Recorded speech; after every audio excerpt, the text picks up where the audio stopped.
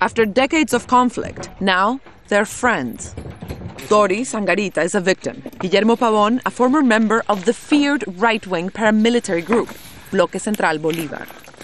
They're part of a pilot program that experts hope will be a model for reconciliation. Cuando yo pertenecía When I was in the armed group, I would say hi to Doris, but she would always keep a distance. Now it's totally different. She trusts me. Hoy en día hay más confianza. Under the new initiative, former fighters are reintegrated into society and work to remedy their wrongs. Es una parte crucial del proceso. It's a crucial part of the peace process, giving the lands back to the people, restoring democratic security, putting the perpetrators of the armed conflict on the sidelines. That's their mission. A los actores armados tratar de Controlling land has been a key goal for Colombia's illegal armed groups. Her Paramilitaries terrorized millions and stole their lands. President Juan Manuel Santos has promised to hand most of it back. But right wing death squads, which had supposedly demobilized, still operate in the countryside, despite a peace deal with the government. The village of Monterrey is a ghost town, with two thirds of its population too scared to return, the others traumatized by what they saw there. Avelino Hernandez shows us the old paramilitary headquarters. Thousands disappeared after being taken here.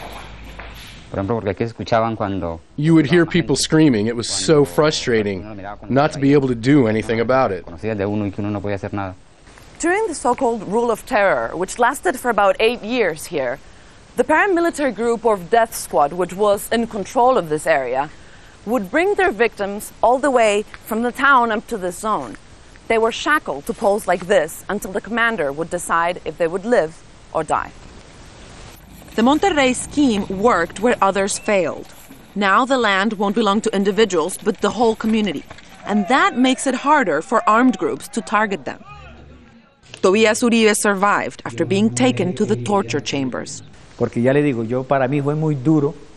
It's so hard to remember that day when they took me on what was known as the last ride. I thought about my family, my wife, and said to myself, this is it. But I was spared. Now he lives in what was the paramilitary warlord's ranch. He plans to use the government's reparation funds to make the place somewhere that can be used by the whole community. Somewhere they're no longer scared to go, but can enjoy. Mónica Villamizar, Al Jazeera, Monterrey, Colombia.